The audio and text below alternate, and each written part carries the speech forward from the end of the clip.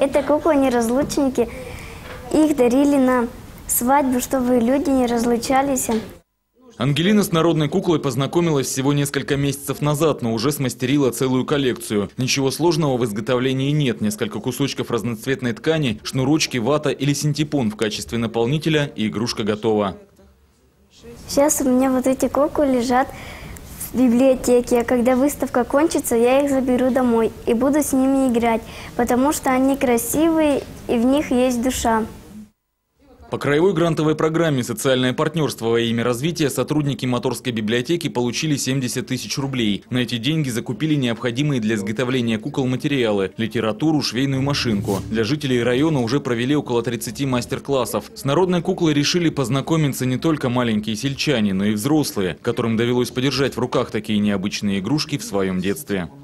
Родители давали нам эти куклы, что они какие-то там обереги, или что-то с этим связано. Ну, да и раньше не было же игрушек таких, поэтому приходилось все, все игрушки делать своими руками. Для малышей проект – это не только знакомство со старинными игрушками, но и интерактивная программа, где они могут услышать старинные песни и принять участие в народных играх, которые известны с глубокой древности. Масленица – моя любимая кукла. Мне она очень понравилась. Еще мне нравится игра народная. Эта игра называется «Мы просто сильнее». Она моя любимая игра. Есть у народных кукол свои секреты. Это не просто игрушки. Зачастую они имели сакральное значение, использовались в обрядах и отвечали за благополучие. Мир народной куклы действительно волшебный. Их наделяли особыми магическими свойствами. У хорошей хозяйки в доме их было более сотни. Мастерили кукол без использования колющих и режущих предметов, иголки и ножниц. Кстати, можно обратить внимание, что у народных кукол нет лица. Это связано с поверьем, согласно которому в тряпичное тело могла вселиться нечистая сила. Народные куклы насчитывают огромное количество видов, различные по форме и назначению, они сопровождали людей в течение всей жизни.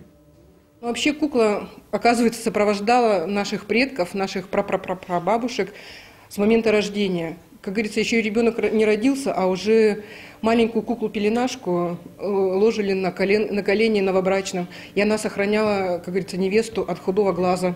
Ну, кто-то в это верит, кто-то нет, но, как говорится, это было, это делается, и мы попытались это возродить.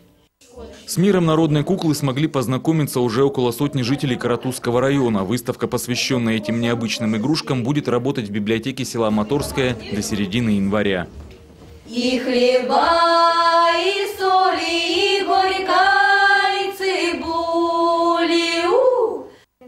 Артем Махальников, Станислав Беркий. Новости.